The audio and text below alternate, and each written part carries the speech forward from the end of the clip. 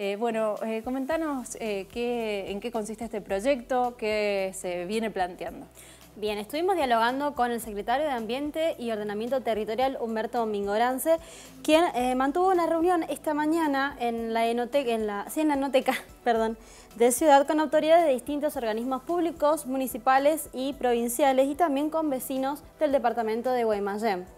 Es para dialogar, en realidad presentaron un proyecto para hacer un parque costero en la vera, como decías, del cacique Guaymallén, desde la rotonda del avión, 4 kilómetros hacia el este. Bien, entonces eh, vemos la nota con el secretario eh, de Ambiente, Humberto Mingorance. Escuchamos qué nos decía.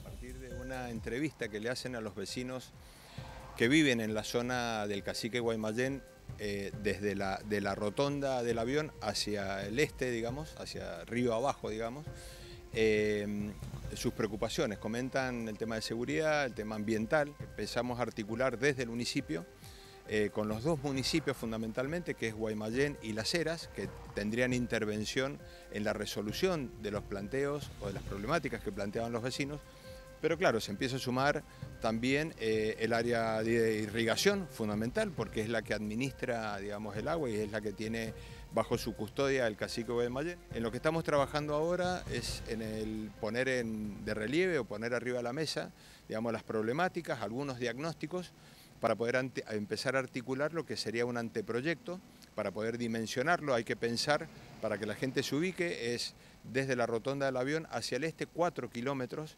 eh, de este cacique Guaymallén que no tiene la misma configuración digamos que lo que nosotros conocemos como el cacique Guaymallén, un canal totalmente impermeabilizado, sino que ya es como era antiguamente el cacique Guaymallén, un perfil eh, todo de tierra, pero fundamentalmente ponerlo en valor y generar un potencial, digamos, eh, para mejorarle la calidad de vida a los vecinos y tal vez generar un espacio eh, turístico, digamos, porque realmente el lugar es fantástico. Lo que esperamos es de acá a fin de año ya tener como un proyecto hasta evaluado, digamos, saber qué costo podría tener esta primera etapa, estamos hablando de estos cuatro kilómetros, eh, para ver cómo se financia, que tiene que ver con algún financiamiento que puede poner la provincia, tal vez con financiamiento que pueden poner los municipios, porque cada, una costa es de Guaymallén y otra costa, por llamarla de alguna manera, es de eh, Las Heras y obviamente irrigación. Pero también se puede conseguir un financiamiento internacional, como hemos hecho con otros proyectos para el área metropolitana.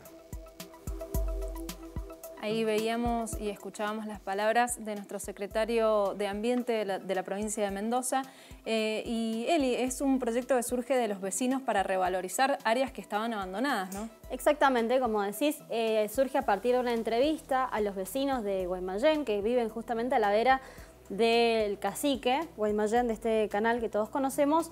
Y bueno, la idea es, como decía el secretario de Ambiente, poner una apuesta, hacer una puesta en valor de lugares que antes estaban totalmente desolados, como lo comparó también con el Parque O'Higgins de Ciudad, que bueno, que hasta ahora tenemos un skatepark, tenemos juegos y toda una pista de salud para que la gente pueda disfrutarla y es la idea que tiene con este parque costero. Bien, y en cuanto al financiamiento, ¿ya se han hablado eh, los números, se ha tramitado ese tema? Todavía no, justamente como decía el secretario, eh, se espera antes de fin de año poder acordar un financiamiento, ya sea provincial, nacional o tal vez también internacional. Bien, Eli, muchísimas gracias por la información.